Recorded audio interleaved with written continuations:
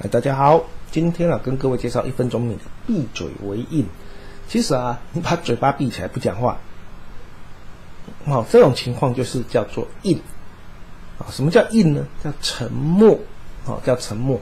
所以啊，你八字呢，假设呢，你是要硬的人，你用神要硬的人，所以说你就要安静一点，不太要讲话。哦，就是嘴巴闭一闭，嗯，这样子，你在无形中呢，哦，就会展现出硬的特质。所以来讲，硬呢，哦，你只要是八字需要硬的人，那你就要怎样？安静一点，哦，不要动不动就跟人家在那边讲啊，噼里啪啦的，会变成是争吵。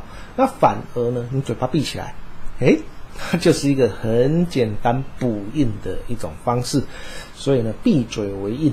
它对于呢你八字需要硬的人，它是一个很好用的方式。好，那今天啊就跟各位分享到这边，大家下次有缘再见，拜拜。